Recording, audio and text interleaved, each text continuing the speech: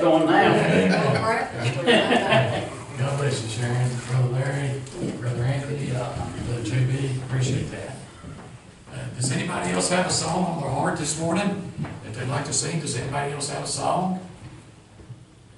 Okay, well, it doesn't look like anybody, so thank you all for singing this morning. We really do appreciate this. Y'all did a fantastic job. And then pray for Miss Jamie, uh, that she'll be well enough to sing for us next Sunday. But if you have your Bibles with you this morning, I'd like to invite you to take the Word of God and turn to Romans chapter number 12. Romans chapter number 12. Uh, we'll read verses 1 and 2. And this morning we're going to talk about something that uh, we all need individually and personally in our lives. We need renewal to take place in our mind. Uh, because I don't know about you, but I'm a creature of habit, and you kind of get into a routine, and you do the same thing day in and day out. And if you ain't careful, you get into what we call get into a rut or get into a routine. And uh, beloved, uh, uh, not that there's anything wrong with having a routine uh, in your life, uh, but beloved, uh, sometimes that routine takes away the zeal and takes away the energy and the excitement of what we what we're doing. And so uh, we all need to experience personal renewal, and renewal takes place in the mind. It takes place in the mind. And we'll see that from the text this morning. And so Romans chapter number 12, let's pick up reading verse number 1. We'll read verses 1 and 2, then we'll pray, and then we'll get into the message this morning. I beseech you, therefore, brethren, by the mercies of God, that you present your bodies a living sacrifice, holy, acceptable unto God, which is your reasonable service. And be not conformed to this world, but be ye transformed by the renewing of your mind, that you may prove what is that good and acceptable and perfect will of God. Let's bow our heads and go to the Lord in prayer and ask the Lord to bless the reading of His Word this morning. And dear Heavenly Father, we are thankful for this day that you've made. Let us rejoice and be glad in it. And Father, we're thankful, dear Lord, for the health and the breath of life you give us to enjoy your creation this morning. Father, we're thankful that you allowed us uh, to come safely to your house, to come together with other believers to worship thee in spirit and truth this morning. And Father, as we look to the bread of life, Father, I pray that our minds would be renewed this morning and that our uh, faith would be increased and that our desire to live for you and serve you would be renewed this morning and that, uh, and that uh, you would reignite that fire and that passion uh, within our heart and within our mind and within our soul uh, to do all that we can do to bring honor and glory to your name.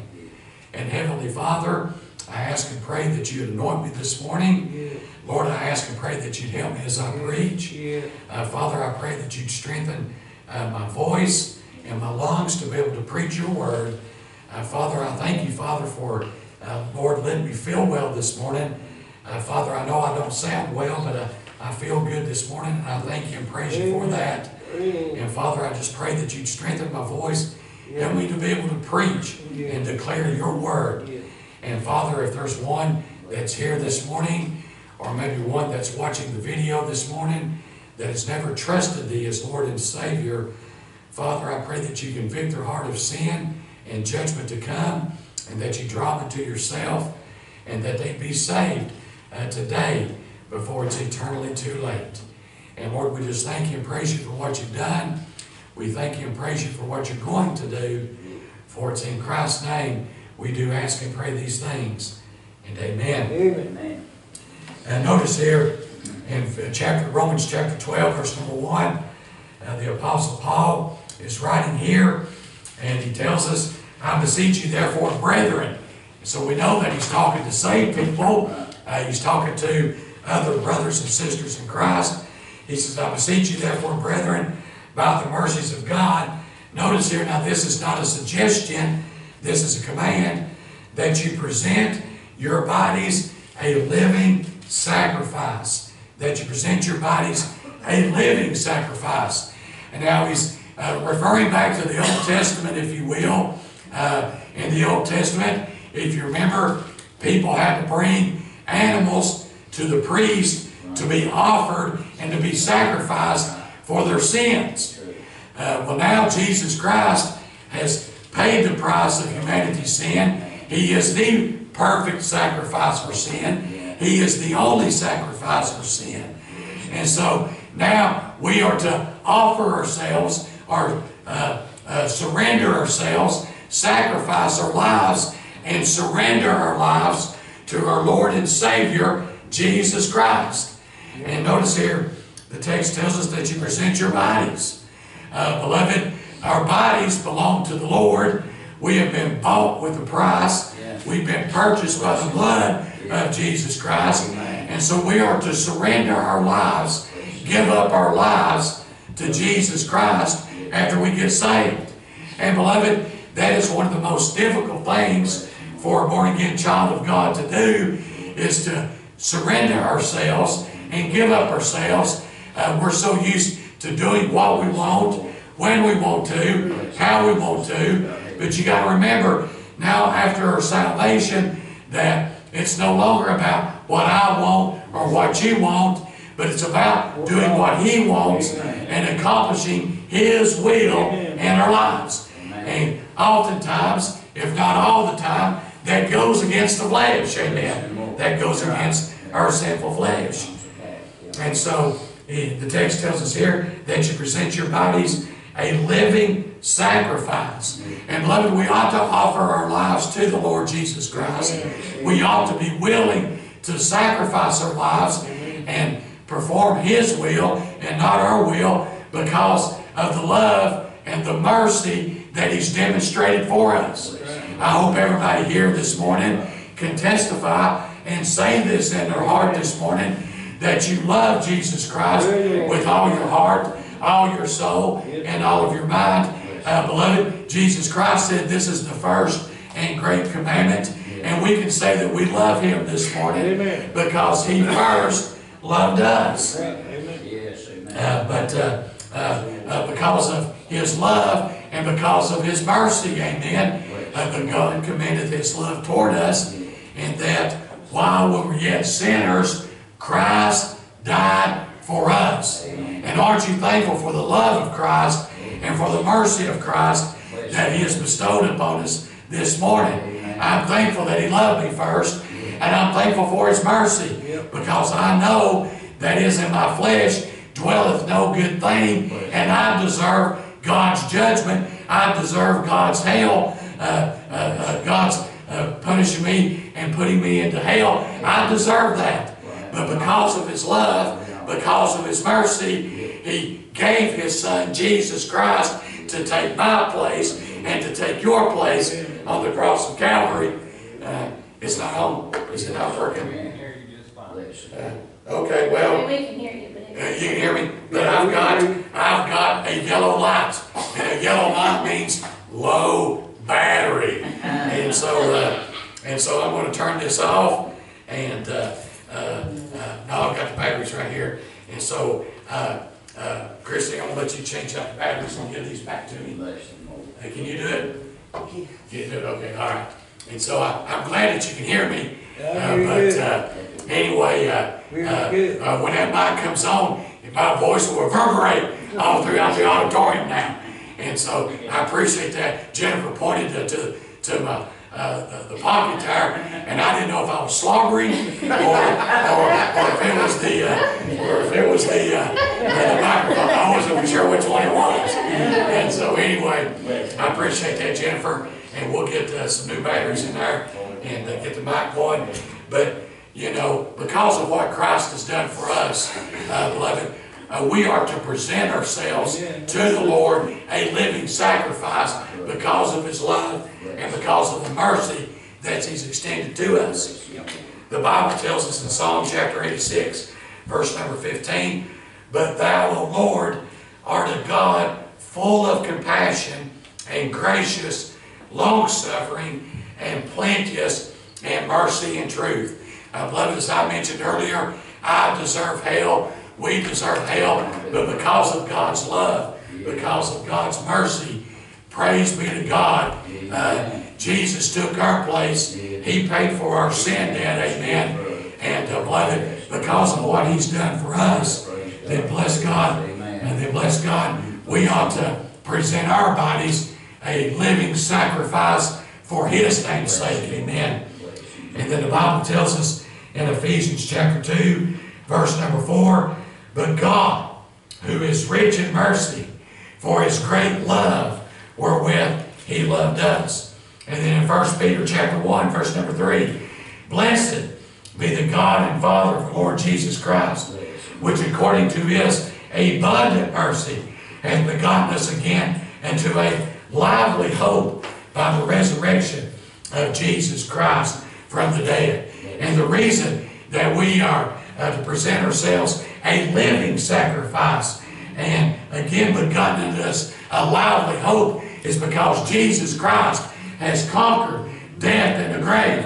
He is, he is risen. He is alive forevermore. And the hope that we have this morning as children of God, it is real, uh, beloved. Uh, uh, the, the life that we live for Jesus Christ, it is living. It is real this morning. Uh, he is sitting at the right hand side of the Father and making intercession for you and I. And beloved, what we have this morning is real.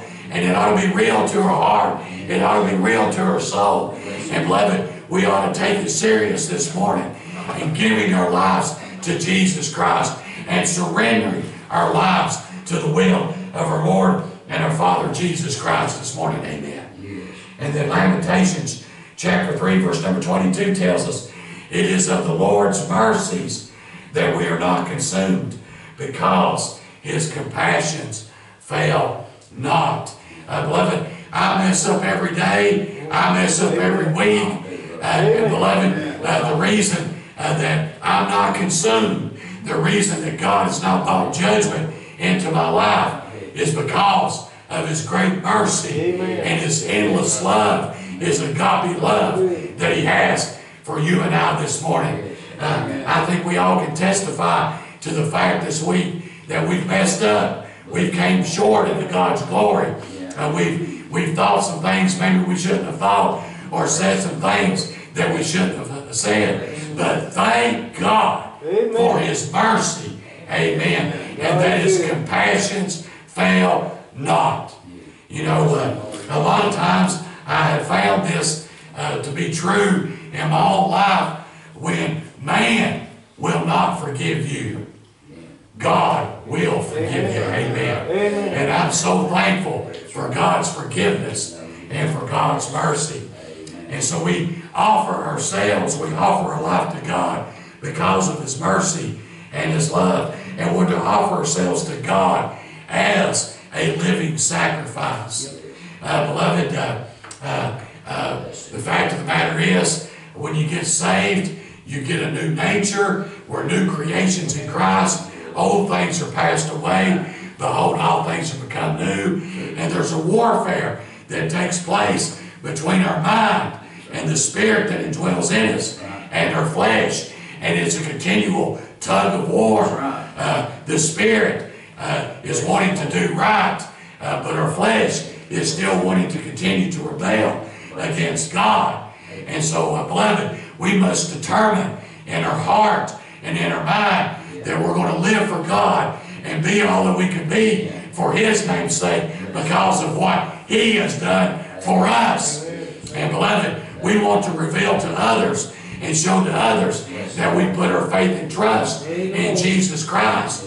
And uh, beloved, we have to die to self. And we have to crucify the flesh on a daily basis to accomplish this in our daily walk with Jesus Christ. In John chapter 3, verse number 30, the Word of God tells us, He, talking about Jesus Christ, He must increase, but I must decrease.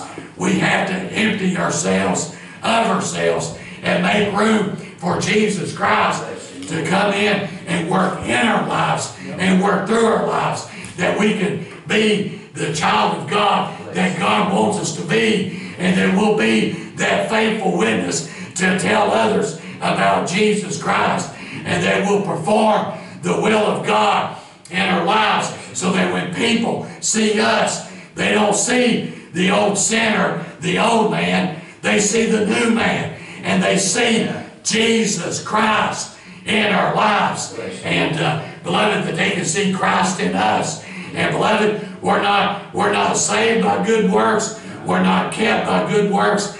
But beloved, our good works should be a result of the new birth. And these things are profitable unto others. And people can see Christ in us and desire to know more about Jesus and desire to draw closer to God and come to that point that they call upon the name of the Lord and accept Jesus Christ as Lord and Savior. And so He must increase, but I must decrease. And let me tell you something. We have to crucify the flesh. We have to we have to make sacrifices ourselves. We have to sacrifice our time. We have to sacrifice our talent. We have to sacrifice our treasure. Uh, but beloved, these things that we're sacrificing, uh, beloved, are for His will and for an eternal purpose. And so the Bible tells us in Galatians chapter 5, verse number 24, and they that are Christ. Do you belong to the Lord this morning? Amen. Are you a child of God? Has your name been written down in the Lamb's book of life? If you are, then you belong to Him. You belong to Christ this morning. What a wonderful truth we have. And they that are Christ have crucified the flesh with the affections and lust. We are to die to self. We are to crucify our flesh and die to self daily. Uh, when we, uh, we want to tell that dirty joke, we have to crucify the flesh. When we want to give somebody a what for and maybe use some vocabulary and vernacular that we ought not, we have to crucify the flesh. Uh, we have to bring our flesh into subjection and crucify our flesh on a daily basis. When somebody cuts you off at the drive-through, or cut you off at the on the interstate, or cut you off uh, uh, at the checkout lane, and you want to tell them a piece of your mind. Sometimes you've got to crucify your flesh. Now I know I know some of us are wired just to let it rip, and uh, that's the way our flesh is sometimes. Uh, but beloved, God doesn't get any glory out of that. It doesn't help the cause of Jesus Christ. And so we have to crucify our flesh and keep our flesh in subjection and into submission to the Spirit of God. Amen. And so the Bible tells us in 1 Corinthians chapter 9, verse 27, but I keep under my body and bring it into subjection, lest that by any means, when I preach to others, I myself should be a castaway. And so we have to guard our testimony, if you will. Thank God for salvation and that we're saved with an eternal salvation. And you can't misplace your salvation. You can't lose your salvation. no one can steal your salvation from you. But beloved, the next most important thing that you have as a child of God after your salvation is your testimony. And beloved, you can lose your testimony. You can get in the flesh. You can pitch a hissy fit, as we say here in East Tennessee. Uh, you can give them what for. Uh, you can give them the piece of your mind. And beloved, we can lose our cool. And beloved, you can say things and you can do things uh, to try to get your point across, uh, to demonstrate your anger, uh, to show your frustration. And beloved, once you say those things, and once you do those things, and once they're out in the open, listen, you can apologize for them. You can realize after the heat of the moment, oh, I shouldn't have said that. I shouldn't have done that. But the fact of the matter is, once it's been said, once it's been done, you can ask for forgiveness, you can apologize, but what is done is done, and there's no taking it back. That's the truth, brother. And even though people, people uh, uh, uh, will hear your apology, uh, people will hear your request to ask for forgiveness, they may accept your apology, they may or may not forgive you, but one thing they'll always do, will do, is they'll remember what you said and what you done. That's the truth, brother. And so be careful how you respond. Be careful how you react. Uh, because, uh, let me tell you something. Thank God for the blood of Christ. And if we confess our sins, He is faithful and just to forgive us our sins and to cleanse us from all unrighteousness. And thank God that God will forgive you, but that doesn't mean man's going to forgive you. And I know those that have carried unforgiveness and carry bitterness in their heart, and they will not forgive what somebody has said or done to them. And so be careful what you say, be careful what you do, and guard your testimony. Amen. Guard your testimony. That's true. Uh, in 1 Corinthians chapter 15, verse number 31, I protest by your rejoicing which I have in Christ Jesus our Lord, I die daily. And the Apostle Paul's not talking about a bodily death. We are dying daily in our body of flesh. Every day that we live is a day closer we're going to step out into eternity. But he's talking about here, he's dying to himself, dying to his self-will, dying to what the lust of the flesh want to do. He's dying to those things daily so that he can live and perform the will of God in his life daily. And so notice here, the text tells us that you present your bodies a living sacrifice. Notice here, holy. Notice how we're to offer ourselves unto the Lord. Being holy. Being without, uh, uh, being without uh, charge. Being blameless in our life. Uh, we cannot be sin- sinless, but we ought to try to aspire to be blameless and to be holy and to be lights in this world and to be salt in this earth. Amen. And so, uh, uh, beloved, uh, uh, uh, there's not a lot of holiness preaching in our Baptist churches anymore. Uh, we've got to where we compromise the truth of God's Word and we become tolerant of sin. We become accepting of sin. Uh, beloved, uh, the fact of the matter is that we're a child of God. We are to be different from the world. We're not to be like the world. Uh, we're, to, we're to sound different. We're to look different. And we're to act different. And that's what verse 2 tells us. And be not conformed to this world. Too many churches today are trying to be like the world uh, to win the world. But God tells us, as His children, we're to be different from the world, and it is because of that difference. People will look at us and they'll want to wonder why we're different. And it's because we have Christ in us. We're, we're new creatures in Christ Jesus. And be not conformed to this world, but be transformed. Be different from the world. Don't sound like the world. Don't dress like the world. Don't talk like the world. Don't act like the world. You and I, as children of God, we are to be different. We're to be different.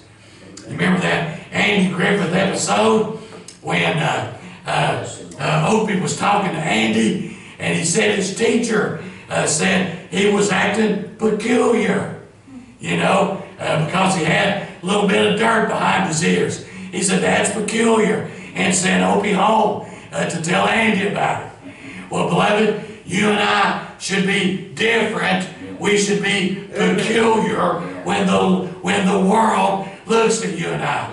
And the word peculiar, uh, when you read it in Scripture, literally means a people that has been set aside for a specific purpose, uh, beloved. And that's what God has done is He uses His people and sets His people aside to accomplish His will in this world. And so, uh, beloved, we're to offer ourselves to God in holiness. In 1 Peter, in 1 Peter chapter 1, verses 16 and 17, because it is written, Be ye holy, for I am holy. And if you call the Father, who without respect of persons, persons judgeth according to every man's word, pass the time of your sojourning here in fear. God is not a respecter of persons, but He has called us to be holy because He is a holy God. He is a just God. He is a loving God. He is a merciful God. Uh, he is a gracious God. And so, beloved, we're to be holy because He is holy. And the Bible tells us in Titus chapter 2, verse number 14, talking about Jesus, who gave Himself for us that He might redeem us from all iniquity and purify to Himself a peculiar people, zealous of good works. Uh, beloved, our good works don't save us, our good works don't keep us, but bless God, our good works come about as a result of the new birth. For we are His workmanship, created in Christ Jesus unto good works, which God had before ordained that we should walk in them. And so God tells us after we get saved, we ought to be about good works to show people that we've been saved, that we've been redeemed, and uh, people uh, need to see Christ in us. Amen. Need to see Christ in us. In 1 Peter chapter 2, verse number 9, the Bible tells us, But you are a chosen generation, a royal priesthood, and holy nation, a peculiar people, that you should show forth the praises of him who hath called you out of darkness into his marvelous light. And even though the word repent is not used in this verse, the very definition of it is who hath called you out of darkness into his marvelous light.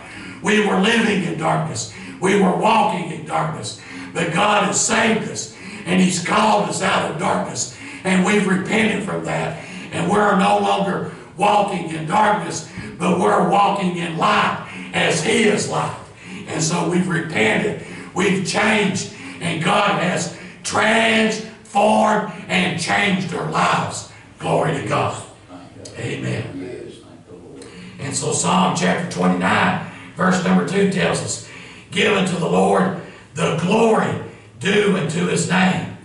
You know, and people today, uh, I know that there's a lot of different ideas about worship. And let me tell you something. There's a lot of people out there that are worshiping God, but they're doing it their own way. They're doing it the world's way. They're doing it in the flesh. And because they're doing it, they feel like God is accepting it. But if you read the Word of God and you study the Word of God, God will accept our worship, but it has to be the way that God has commanded us to worship. And Jesus said, those that worship Him, notice the next word, must, must worship Him in spirit. Not in all this fleshly hoopla that's going on out there today. Uh, that is a deception from the devil. But those that worship Him must worship Him in spirit and in truth. And notice here what the Word of God tells us. Give unto the Lord the glory due unto His name. Worship the Lord in the beauty of holiness. The way that we worship God is to be transformed from the world. Love not the world, neither the things that are in the world. If any man love the world, the love of the Father is not in him.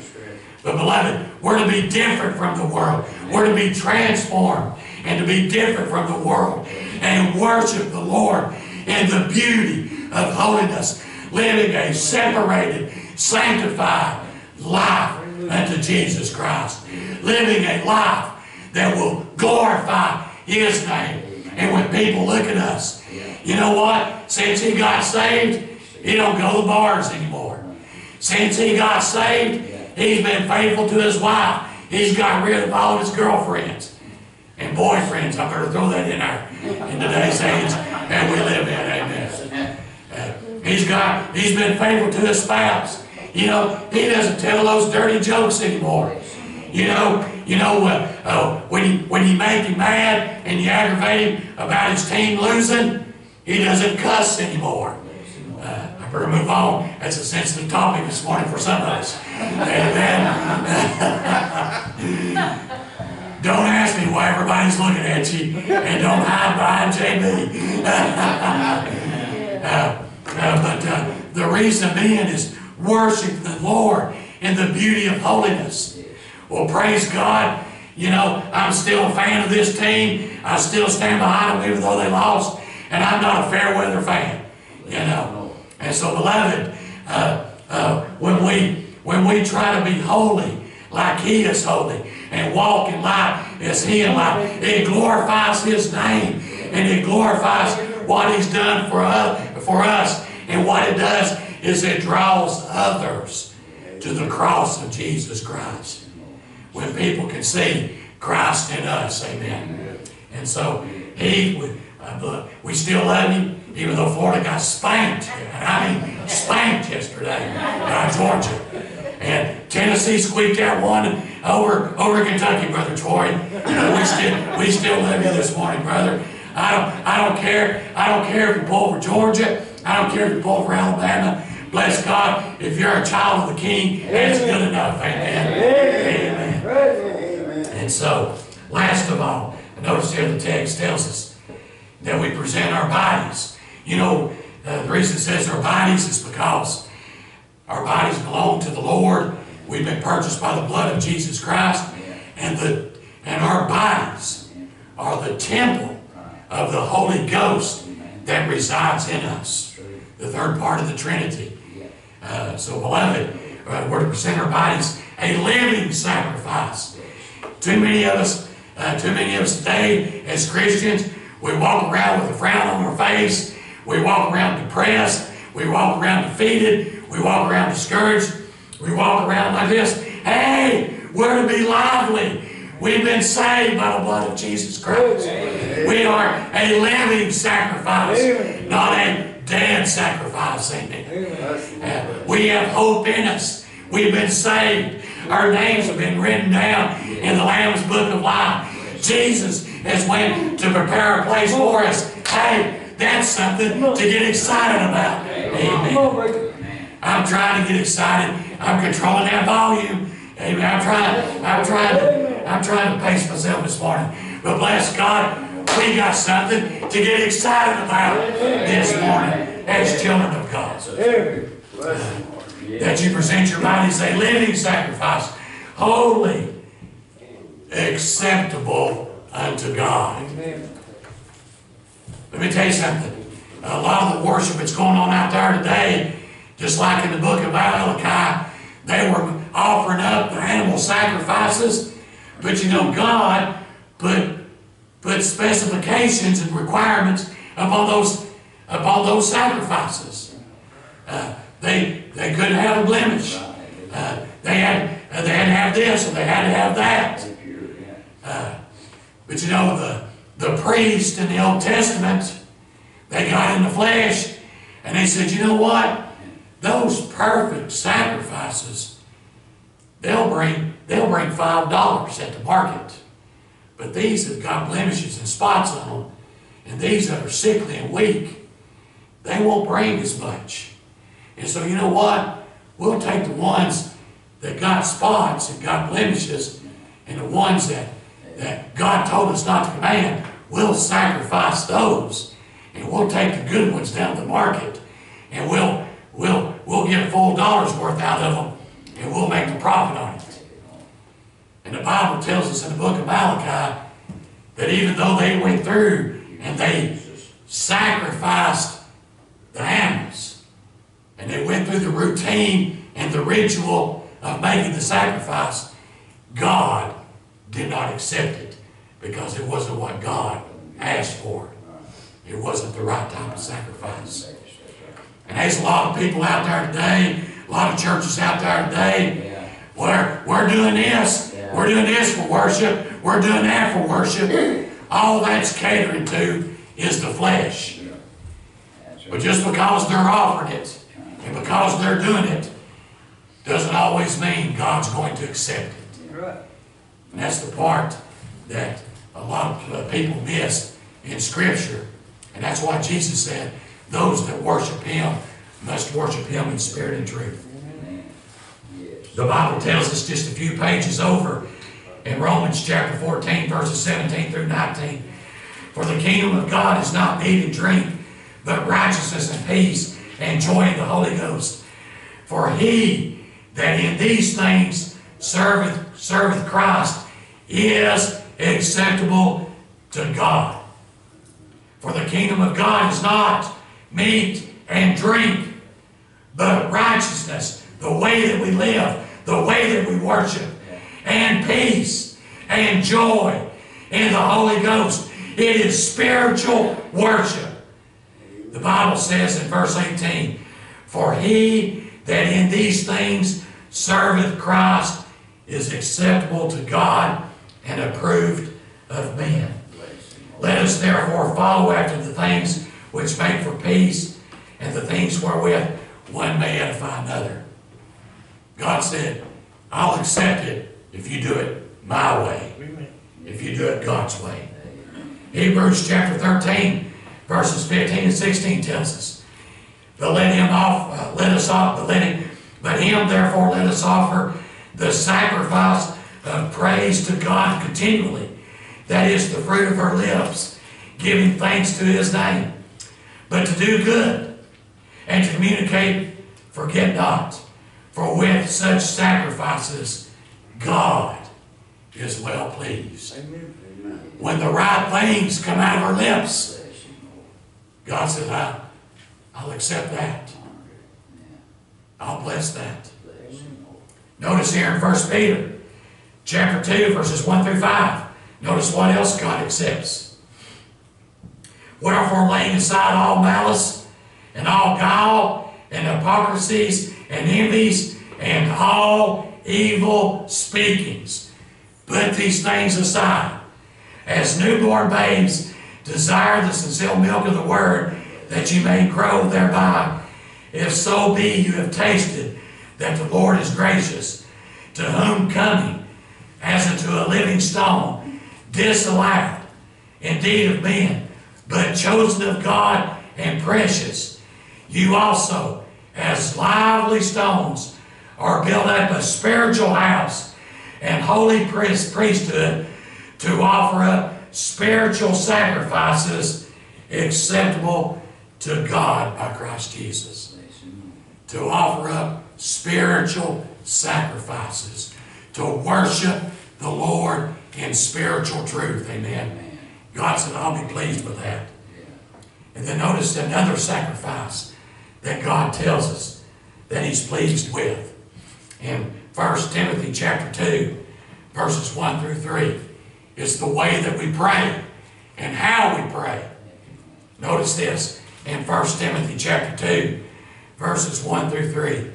I exhort therefore that first of all, supplications, prayers, intercessions, and giving of thanks be made for all men, for kings and for all that are in authority, that we may lead a quiet and peaceful life in all godliness and honesty.